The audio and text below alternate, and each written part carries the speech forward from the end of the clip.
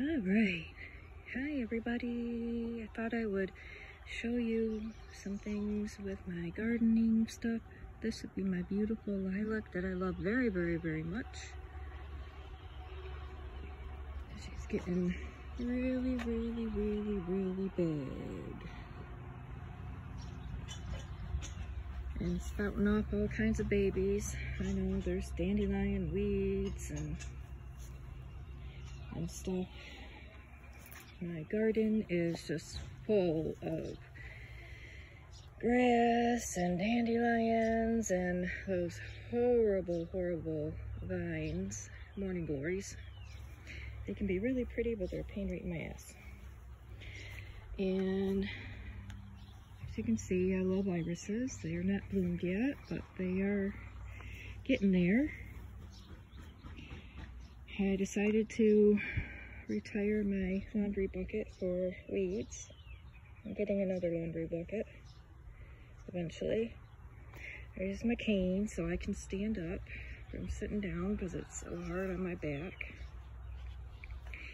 I brought the mat in from outside. It's got the rubber backing that I can kneel on. So I'm not kneeling in the, the mud and dirt and crap. I have a little bag with all kinds of accessories that my son Justin and his wife Nicole got me for, I think Christmas one year. Or my Mother's Day, I'm not quite sure. um, this plant right here, when that blooms, it has these spiky purple flowers that are absolutely beautiful. I absolutely love them so much. Back over here, this orange one, I thought this was really pretty. Reminded me of my youngest son, Jake. His favorite color is orange, and I believe that would be the shade of orange that he loves so much. And believe me, he is particular on the shade. right, Jake, if you're watching? I have all different um, kinds of irises because they're just my, probably my favorite flower. I came out yesterday and dealt with a lot of dandelions. That's why you can see some back there are cut off because I tried to cut them off to so that they wouldn't throw their stupid seeds everywhere. So annoying. My hostas are very big and overgrown and I am trying to recruit some help. Um, it's so hard for me with my back and my neck to, to do these things, but they have to be separated and um, yeah, that's something that I definitely can't do. And to come back down here, that's one of my stones. It got broken through the winter, Lord knows how. These are my cute um, things I got from Temu. They, um, they're solar, they light up, and they, they're kind of cool at night. It was my very first thing that I got from Temu last year. Very first thing. It came in a set of two. I've been with Temu ever since. Um, more irises. And this is a baby of the lilac that um, I showed you before. Um, I don't think it's going to flower this year, but um, there's no telling. I don't know. Probably not, but we'll see. Wonders never cease. That is the remainder of a garden stone. I don't know what happened to it, but it got demolished last winter. I don't know what happened. And irises. Oh my god, the weeds are so horrible. I've got such a job ahead of me. This is my gorgeous, gorgeous, I think it's an azalea. My boys got it for me one year when I was having very, very, very, very bad back problems. They got that for me to kind of perk me up. And it's looking better this year than it ever has. This is my bleeding heart that I um, put in a pot and I kind of wonder if it should be transplanted.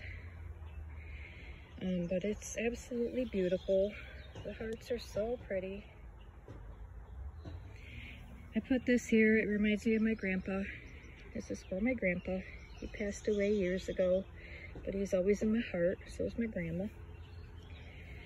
Over here is my wind chime that I hauled recently.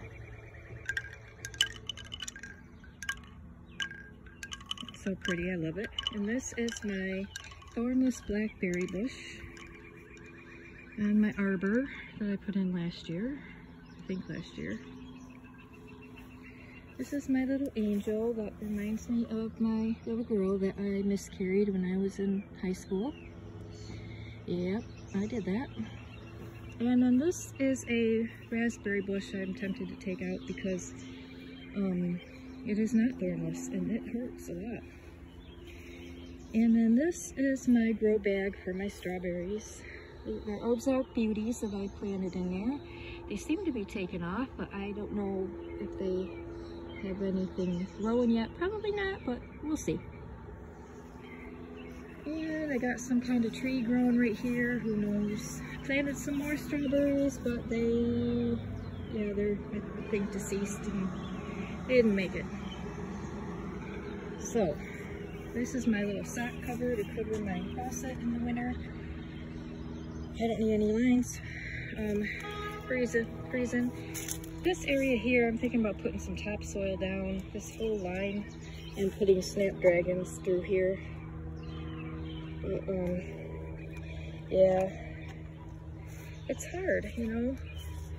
There's so much stuff that I want to do. I just physically can't because of my back and my neck and my medical problems. Oh, there's the other one for the Temu thing. It lights up at night. It's solar. It's really beautiful. Oh, and there's a little tiny itty bitty little baby plant down in there in the weeds. So, I just thought that I would show you some of my garden mess that I'm trying hard to deal with. It's absolutely beautiful and all those babies should find homes and I gotta get rid of those stupid dandelions and I don't know what that purple weed is, but I don't mind that. You see that? I'm sitting down in my chair. I don't mind this little weed. I think this is really pretty. I don't know who classified it as a weed, but I like it. I don't mind it being there under my lilac. And this right here is my little spot with my other wind chime. And I got some really pretty flowers in there. I'll update it through the summer as I'm trudging through this mess. And, oh, hello, hello. My nails are still good from my Color Street nails. So that's a really quick one. I hope you guys are having a good day. It's nice and warm out here. It's in the 70s. I'm gonna go. My neighbors probably think I'm insane. So have a good one. Enjoy the weather if it's nice where you are. Be happy, be healthy, and give a loved one a hug. It's always, always, always welcome, unless they're not a hugger. Give them a high five. Bye, guys.